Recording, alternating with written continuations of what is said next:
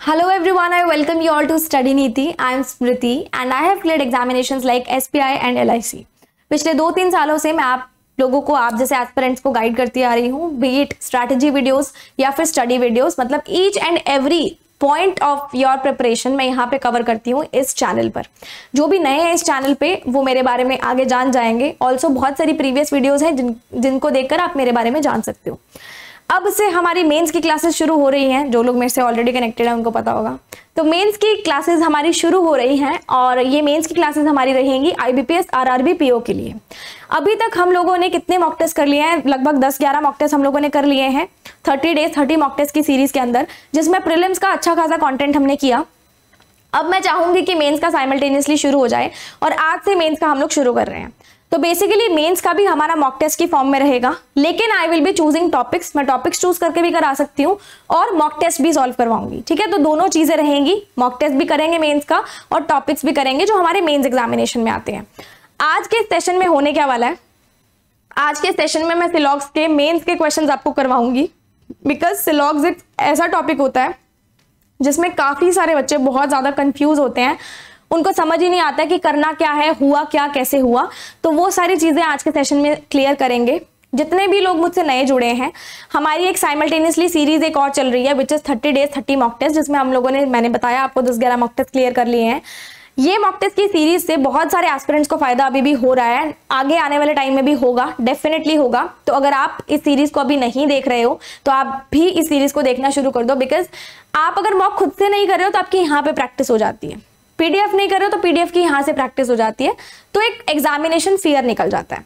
और मेंस की classes continue रहेंगी, बिल्कुल डिसिप्लिन वे में रहेंगी कंसिस्टेंट रहेगी। I am promising myself I be consistent ठीक है? और आप भी मेरे साथ बने रहना।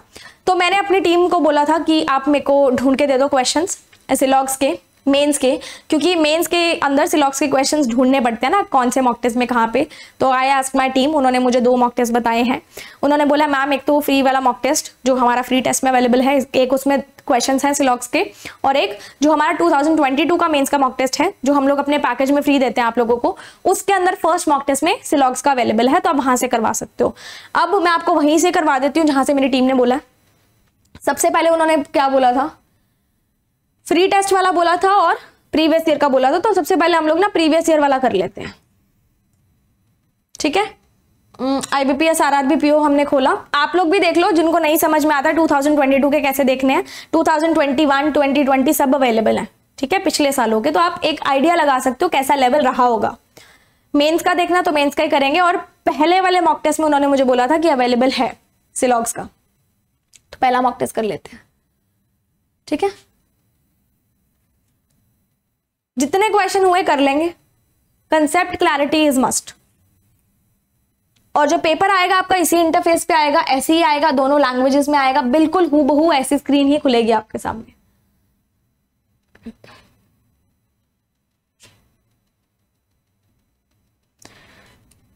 ये तो आ गई है पजल हमने रीजनिंग का ही करना है ना?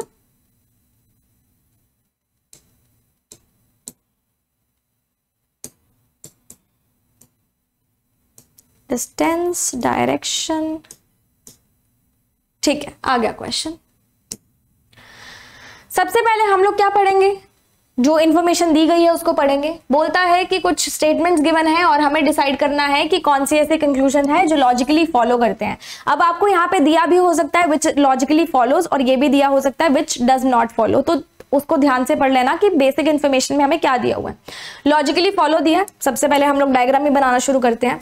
दिया है only a few clocks are contacts सिर्फ़ कुछ ही क्लॉक जो है वो कॉन्टैक्ट है। अब सिर्फ़ कुछ वाला जो केस होता है ना, सिर्फ़ कुछ वाला केस जो होता है, उसमें हम लोग ना डायग्राम कुछ इस तरीके से बनाते हैं बनता यहाँ पे सम वाला डायग्राम है, लेकिन उसका जो रिलेशन होता है, वो इस पोर्शन में होता है, यानी कि जो कॉमन पोर्शन होता है। इसका मतलब ये है कि इन दोनों का रिलेशन सिर्फ़ इस पोर्शन से है, और इन दोनों पोर्शन में वो एनिमीज है, या कि, यानी कि ये जो कलर्ड पोर्शन नहीं है, इनका रिलेशन इस पोर्शन से नहीं है। मुँह पे दोस्त है, मुँह पे इनकी बनती है, पीठ पीछे ये लोग बिचिंग करते हैं। सिंपल सी बात। ऑल कॉन्टैक्ट्स आर गैलरी सब, सबके सब कॉन्टैक्ट्स जो है, वो गैलरी है। सम गैलरी इज़ फ़ोन कुछ गैलरी फ़ोन है। ऑल फ़ोन आर सेटिंग सारे के सारे फ़ोन सेटिंग है। बन गया डायग्राम बोलता है कंक्लूजन में।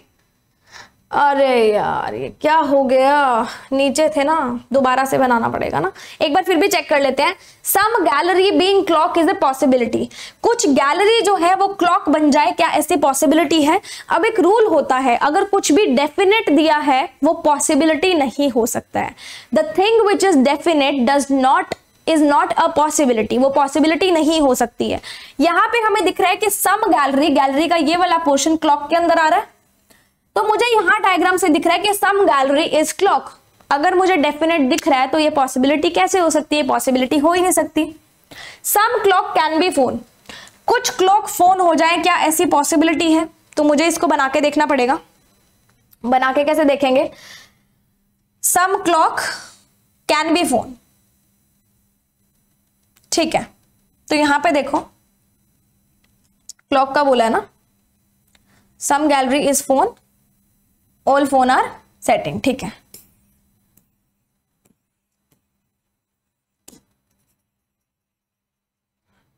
और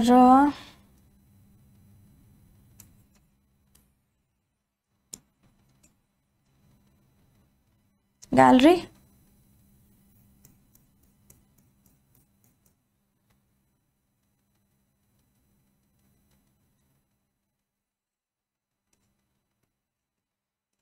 देखो, मैं बनाऊँगी तो ऐसे बनाऊँगी। अब मैंने आपको बोला था, यहाँ पे स्टेटमेंट क्या है हमारे पास? देखो only a few clock are contact सही बन रहा है। ऑल कॉन्टैक्ट आर गैलरी सारे के सारे कॉन्टैक्ट गैलरी है, सही बन रहा है। सम गैलरी इज़ फ़ोन कुछ गैलरी जो है वो फ़ोन है। यहाँ से गैलरी फ़ोन बन रहा है। And all phone are setting सारे के सारे फ़ोन जो है वो सेटिंग है। अब आपको लग रहा होगा ये बिल्कुल सही बन रहा है। आपको क्या लग रहा है कि ये वाला बिल्कुल सही बन रहा है? लेकिन यहाँ से प्रॉब्लम देखो कहाँ पे आ रही है।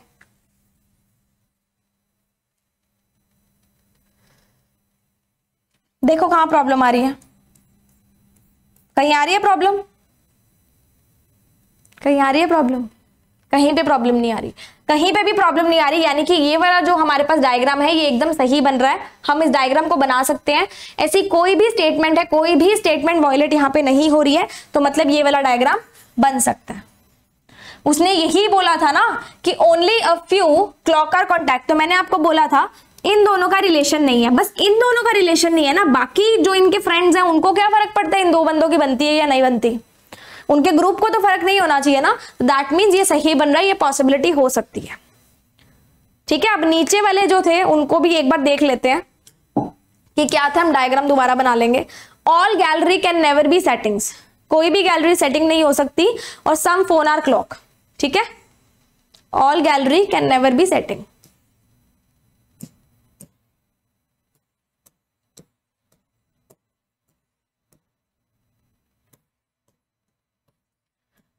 all gallery can never be setting क्या सारी की सारी गैलरी कभी भी सेटिंग नहीं हो सकती? सेटिंग का बड़ा कर दो ये वाला सर्कल कोई भी स्टेटमेंट वॉयलेट हुई? नहीं हुई मतलब all gallery can be setting तो गलत हो गया। उसने बोला था कैन नेवर बी लेकिन ये बन सकती है। लास्ट था सम फ़ोन आर क्लॉक ऐसा कुछ था ना? तो डायरेक्ट तो नहीं दिख रहा। अगर पॉसिबिलिटी बोलता तो सही हो जाती पॉसिबिलिटी उसने नहीं बोली तो सही नहीं हुई।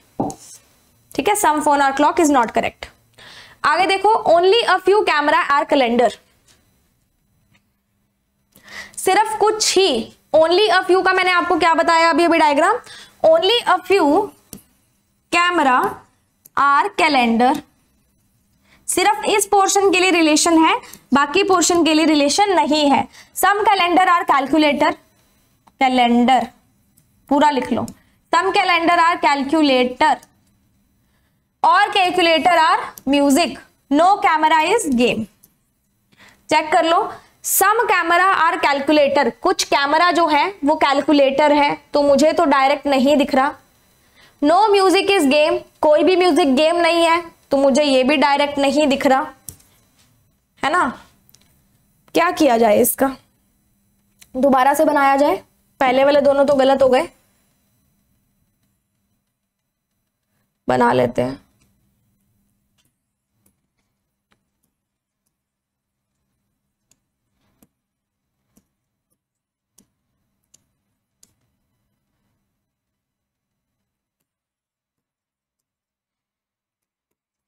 ऐसा कुछ था ना? All calendar can never be calculator सारे के सारे कैलेंडर कभी भी कैलकुलेटर नहीं हो सकते। सारे के सारे कैलेंडर को कैलकुलेटर में डाल के देख लो। अगर मैं कैलकुलेटर को ऐसे बड़ा कर दूँ तो क्या कोई स्टेटमेंट वॉयलेट हो रही है? उसने बोला था, कुछ कैलेंडर कैलकुलेटर हैं। कुछ कैलेंडर कैलकुलेटर हैं। तो जब भी हम लोग, कुछ कैलेंडर कैलकुलेटर हैं। यही बोला था ना?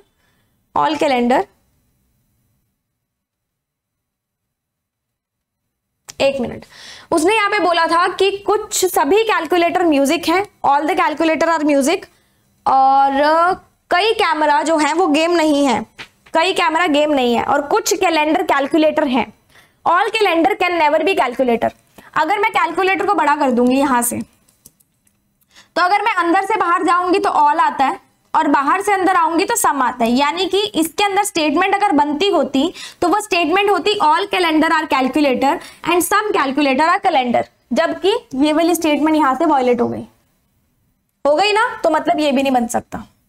Some camera being music is a possibility कुछ कैमरा म्यूज़िक बन जाए, कैसी पॉसिबिलिटी है?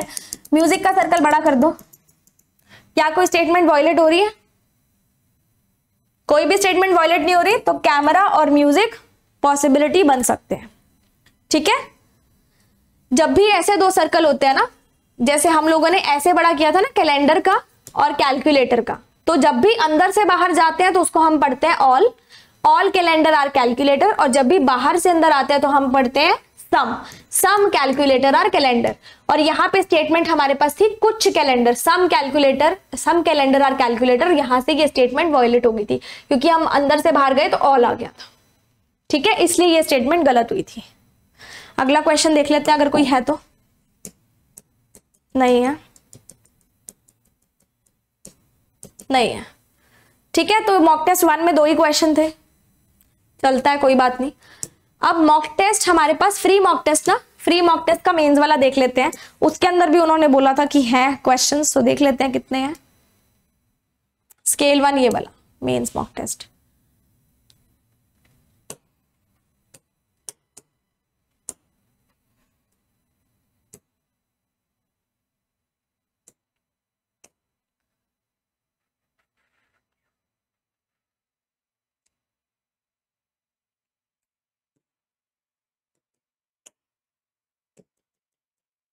गए ना क्वेश्चंस पीछे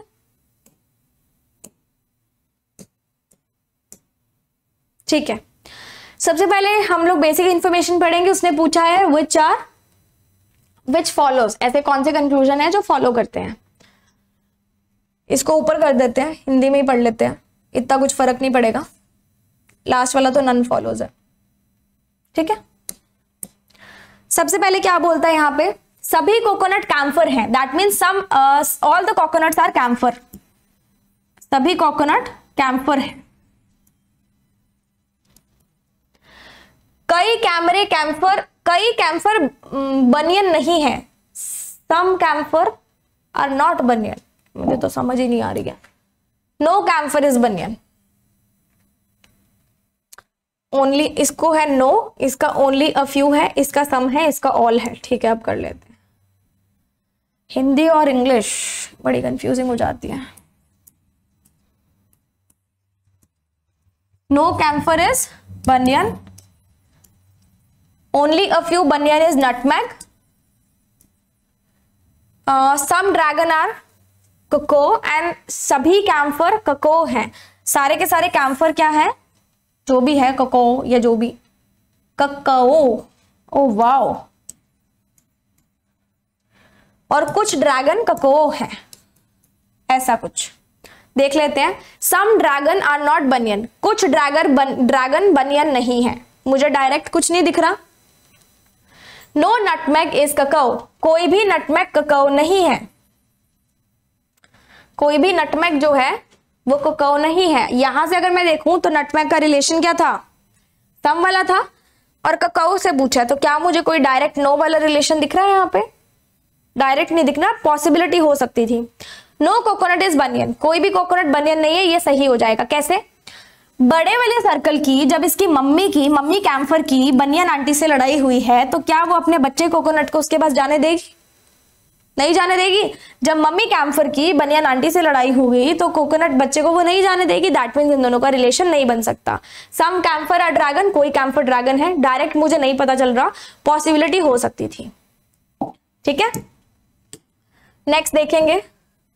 ये सम है, ये ऑल है ओनली अ फ्यू नो और all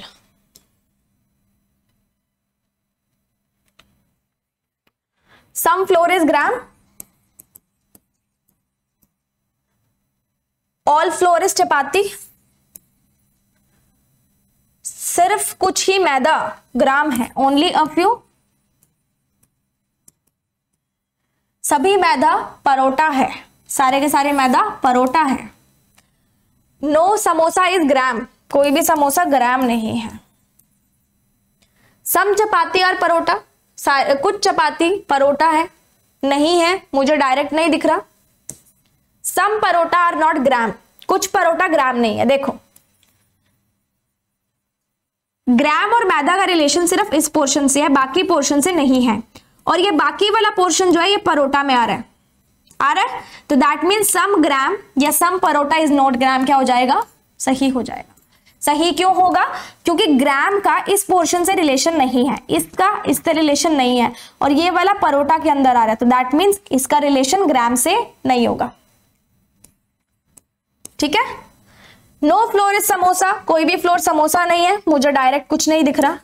No maida is samosa. कोई भी मैदा समोसा नहीं है डायरेक्ट नहीं दिख रहा. That means only option number B is right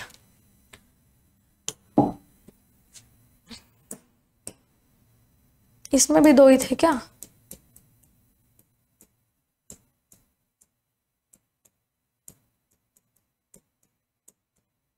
लगता तो है. क्या कर दिए हो? इसमें भी दो ही थे. कोई बात नहीं। हमारा मेन मकसद ये है कि हम लोग ये जान लें कि क्वेश्चंस को अप्रोच किस तरीके से करना होता है।